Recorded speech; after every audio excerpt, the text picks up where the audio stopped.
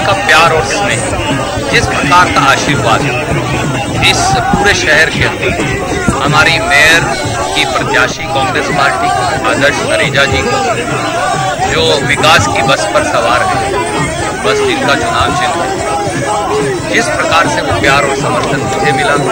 Doctor पवन खरेजा जी, आदर्श खरेजा जी को मिला। मैं हाथ जोड़कर ये कहता हूँ, शहर के हर नागरिक को, मैं अभिभूत हूँ, मैं धन्य हूँ, मैं आपके आगे नमन करता हूँ। मुझे नहीं लगता कि कभी मुझे भी इतना स्नेह किसी चुनाव में मिला जो आज कांग्रेस पार्टी को मिल रहा है। उसका कारण भी है। दस साल कांग्रेस की तरक्की देख ली, आठ साल बीजेपी की लाचारी देख ली। इनके तो सारे इंजन फेल हैं साहब। इनके पास तो दस इंजन पहले दिल्ली में इनकी सरकार है मोदी जी बैठे। हरियाणा में इनकी सरकार है, खट्टर साहब बैठे। विधायक जी इनके हैं एमपी बीजेपी के हैं, जिला परिषद बीजेपी की है, पंचायत समिति बीजेपी की है। नगर पालिका के दो साल बीजेपी के थे उसके बाद बाद में इंडिपेंडेंट साथी बने। अब भी एक साल से अधिकारियों के माध्यम से चलाते मंत्री इनकी हैं। शहर के अंदर। क्या चीज़ उनके पास नहीं है? जिन्होंने आठ साल में इस शहर को लावारिस बना दिया, आप क्या समझते हैं कि वो मेयर बनाकर इस शहर में कोई सेवा करेंगे? सेवा वही करेंगे जो ईमानदार है, जो काबिल है, जो लायक है, जिनमें क्षमता है और जिनमें जज्बा है।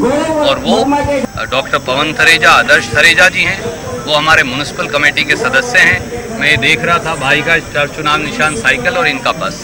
ये दिखाता है कि कांग्रेस ने साधारण से साधारण गरीब से गरीब साथियों को ये मौका दिया कि रात को आप 24 घंटे इनकी घंटी मारोगे ना ये वहाँ आपको खड़े मिलेंगे। ये जाना नहीं है इन्होंने कहीं ये वहीं खड़े मिलेंगे। तो तीन पीढ़ी का रिश्ता है। आदरणीय प्यारेलाल वर्मा जी आज भी हमारी मन और आत्मा में बसते हैं पर मुझे ज़्यादा खुशी ये है कि गौरव वर्मा जी ने प्यारेलाल वर्मा जी की शिक्षा को आगे बढ़ाया है और उनके संबंध समाज के साथ जो थे उनको बरकरार रखा है उनकी सेवा आज भी उसी प्रकार से जारी है। ऐसा कुछ हाँ? आप धनखड़ साहब को गंभीरता से मत लिया करें।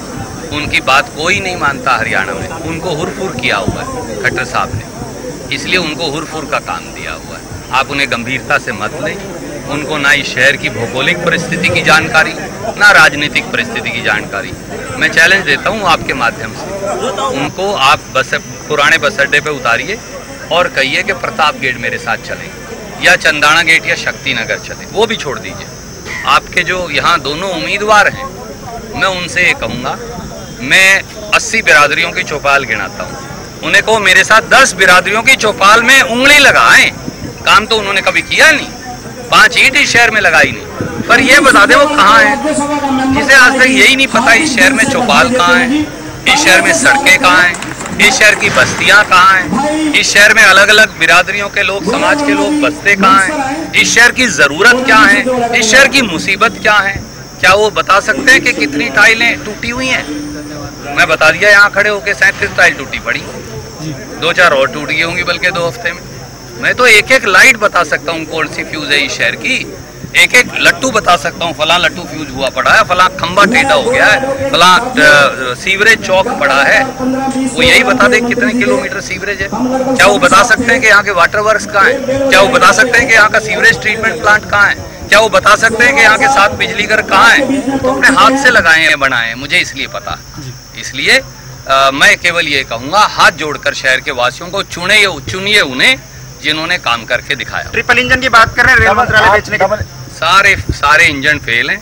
रेल ही बेच दी, सेल भी बेच दी, और भेल भी बेच दी, और अब इस शहर को भी बेच देंगे अगर मौका मिला। एमपी साहब ने एक बयान